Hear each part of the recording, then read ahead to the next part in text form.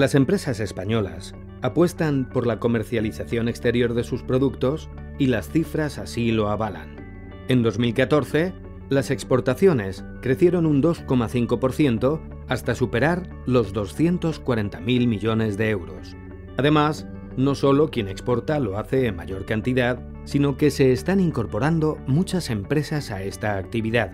Para entrar con éxito en un nuevo mercado, no es suficiente que el producto o servicio responda a una demanda. Además, es fundamental conocer y estar preparado para superar todos los pasos que hay que realizar hasta llegar al consumidor, tanto legales como de mercado. Si no, el fracaso será muy probable.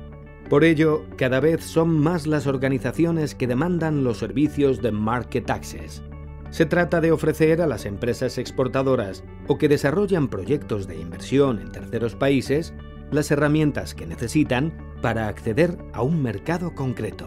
El servicio de acceso a mercados de AENOR lo que trata es de ayudar a las empresas a conocer cuáles son los requisitos en términos de calidad que tienen que cumplir para comercializar sus productos en determinados países, en determinados mercados.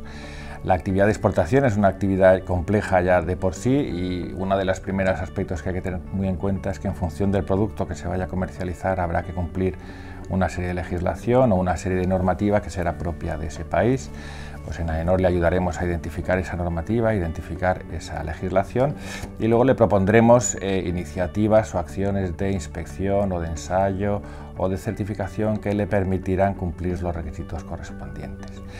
El servicio de acceso a mercados de AENOR se está ofreciendo actualmente en gran cantidad de países, países de Oriente Medio como Arabia Saudí o como Emiratos Árabes Unidos, pero también trabajamos con Argelia, con Ecuador, con Perú o con países de la órbita de Rusia o Uzbekistán o Kazajstán. Los servicios de inspección son tan diversos como productos, servicios y proyectos existen. Por eso la clave está en la personalización de los mismos.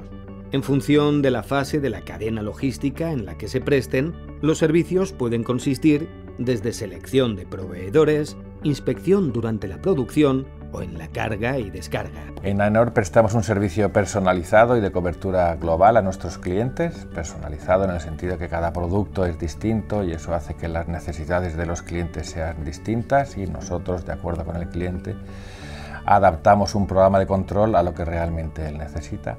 Y la cobertura es global en el sentido de que estamos dando el servicio eh, a través de nuestra red de oficinas. Tenemos 12 oficinas repartidas por Latinoamérica, por Europa y por África y también damos cobertura en los mercados de Oriente Medio y en Asia. En 2014, las inspecciones de AENOR se realizaron principalmente en China, España, Perú e Italia por productos, materiales de construcción, material eléctrico y de consumo, textiles o alimentarios, fueron los más inspeccionados.